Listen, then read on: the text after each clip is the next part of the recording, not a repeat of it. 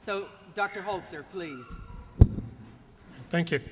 Um, what I'm going to do is try and briefly sort of bring you up to speed on what liquefaction is because it can be a major hazard in earthquake country. And I'm going to stand off to the side here so you can see the slides. And what I'm going to do is answer these five questions. Uh, what is it? Is it a concern in San Francisco? What actually happens?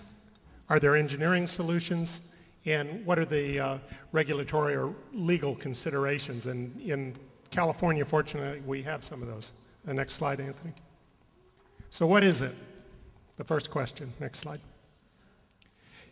Conceptually, it's actually pretty simple. And this is a picture in a farmer's field. And what you see here is sand that has been shaken by the earthquake.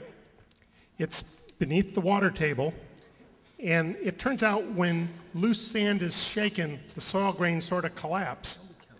And it can actually find its way to the surface. And the sand, and even more important, when you have contaminants in the ground, the water comes out of the ground. So that is basically what liquefaction is. And I'll show you some of the other effects because if you stop to think about it, once the ground has become liquid-like, it's free to move in ways that it normally wouldn't when it's, when it's a solid material.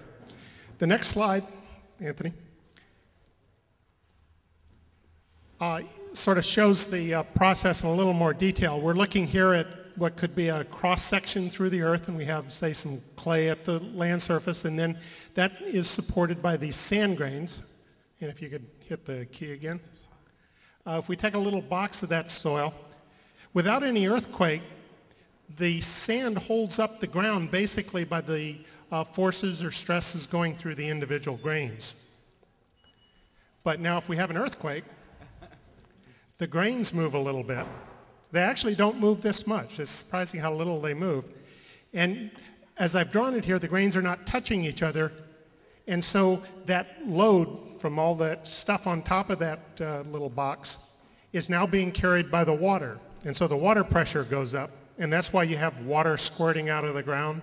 And it can actually be a pretty dramatic phenomenon. I remember talking to a fireman at Treasure Island after Loma Prieta, and his biggest concern was drowning. That's how much water was coming out at the place he was. Okay, what about uh, San Francisco? Is it a concern in San Francisco? Next slide. Well, I, I, probably don't have to tell you we have earthquakes in San Francisco. This is a fairly famous map. Hunters Point is located right here. It shows the faults in the Bay Area and the probability of a magnitude 6.7 or greater earthquake in the next 30 years. And what you can see is virtually all of the faults are capable of generating earthquakes. And two of these, the uh, San Andreas and the Hayward fault, are fairly close to Hunter's Point. So they would be major uh, concerns in terms of seismic sources. So we know we have the potential for shaking. Next slide, please. And if we just sort of step back and look at San Francisco, this is the city of San Francisco, the Golden Gate, Bay Bridge, Hunters Point. The green areas you're looking here, and we're going to look at this map in uh, more detail a, at the end of the talk, but basically what the green areas are are areas that have been filled in. They either were formerly bay waters or they might have been marshes, uh, river courses. But in the course of developing San Francisco, there's been a lot of fill placed in.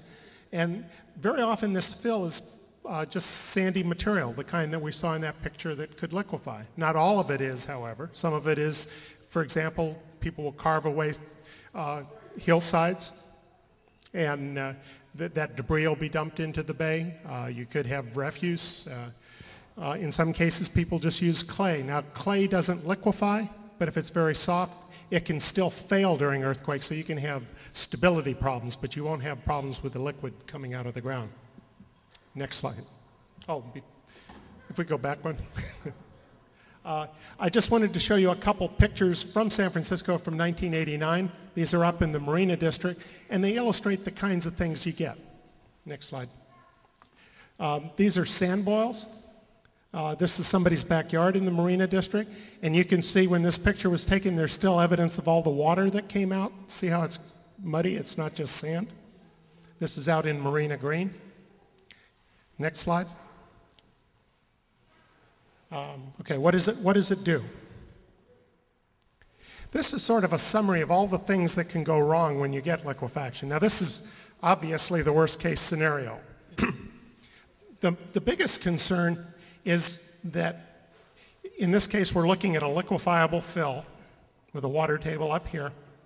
Once that sand is liquefied, the ground can flow. So if it has a place to flow to, like the bay, then what can happen is you'll start getting cracks. Here's sort of a headscarp. It's basically just a large landslide. You can see where the water and the um, sand come spouting out. But even more important, because this ground is moving, the pipelines, the water and gas that are in the, the subsurface can be ruptured by that movement. And very often, uh, if you rupture a gas line, you have fire. Similarly, buildings that aren't properly designed, that are just resting on what was formerly just solid earth, now can sink into the liquefied fill. So the bottom line is here, when you have liquefaction potential, you have to do a lot of engineering design to address these problems. Next slide.